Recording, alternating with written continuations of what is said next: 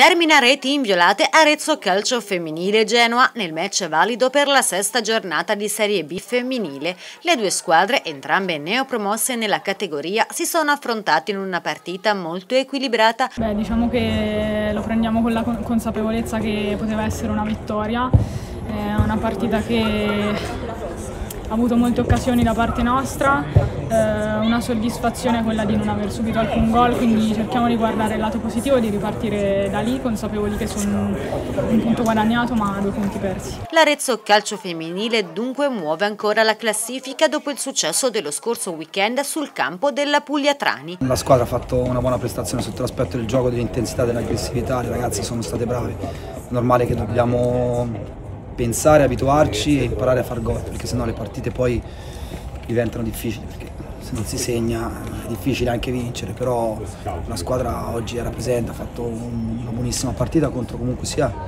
un Genova che al di là de, del, del, punteggio che ha in questo momento è una squadra organizzata, un allenatore bravo, è una squadra che comunque sia, cioè non è l'ultima arrivata, l'abbiamo già incontrato l'anno scorso e si vede che è di gioco, però credo che oggi Arezzo per gran parte della parità abbia dominato la partita sotto tutti gli aspetti. Poi ci è mancato il gol, abbiamo anche subito qualcosina, però eh, calcio purtroppo subire anche qualcosa ci sta. Ad ospitare il match allo stadio comunale Castiglion Fibocchi, temporaneo trasloco reso necessario per consentire le operazioni di risemina del terreno di gioco dello stadio comunale di Arezzo. Siamo molto contenti come amministrazione, come comunità, ospitare le ragazze dell'Arezzo femminile qui a Castiglion Fibocchi per l'allenamento e finalmente oggi le abbiamo viste giocare. È stata un'emozione, una, una bella giornata, una bella domenica, una partita importante, pulita, abbiamo visto il gioco del calcio. Non è stata conclusa, è stato messo a segno il risultato, però credo che sia stata veramente una bella partita. Quindi un grazie a tutte le ragazze, al mister e a tutta la squadra.